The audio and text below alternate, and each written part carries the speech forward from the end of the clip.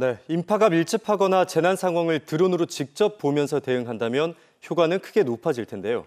네, 경남도가 구축한 드론을 이용한 영상 관제 시스템이 처음 공개됐습니다. 최한솔 기자가 취재했습니다.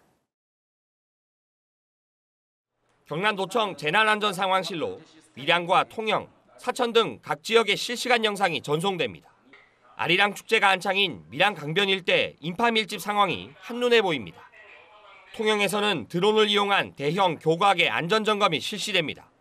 사천에서는 폭염 속에도 계속 일하는 주민들에게 드론을 이용한 대피 방송이 전달됩니다. 야외 활동을 자제해 만 물마시기는 건강에 유의하시기 바랍니다. 다시 한번 알려드립니다. 오늘 수경주의보가 발효 중입니다. 이 영상들은 모두 같은 시각에 띄워진 드론 영상입니다. 경남도는 드론을 활용해 18개 시군의 축제 현장과 재난 현장을 실시간 관리하는 영상 관제 시스템을 도입했습니다. 기존의 상황 관제는 CCTV 사각지대에서 발생하는 재난 상황을 파악하는데 한계가 있습니다.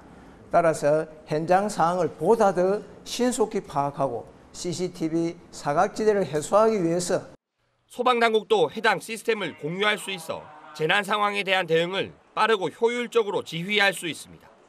상황실이 아닌 모바일로도 시청할 수 있고 최대 25대까지 동시 영상 관제가 가능합니다. 그 기상 예보에 의하면 아주 금년에는 비가 많이 내릴 걸로 이렇게 기상청 예방 아, 전망을 하고 있습니다. 따라서 우리가 금년 여름을 어, 재난 재난이 없는 또 인명이나 아, 재산 피해가 아주 없는 그런 이제 경남을 보내기 위해서 여러분들께서 많이 노력해 주시고 경남도는 향후 불법 지도 단속이나 건설 현장 점검 등 각 부서별 용도에 따라 활용도를 높여갈 계획입니다. 드론 운영은 각 시군의 전문 인력이 맡을 예정인 가운데 재난 현장에 대한 상황 판단과 대응은 한층 더 빨라질 전망입니다. KNN 최한솔입니다.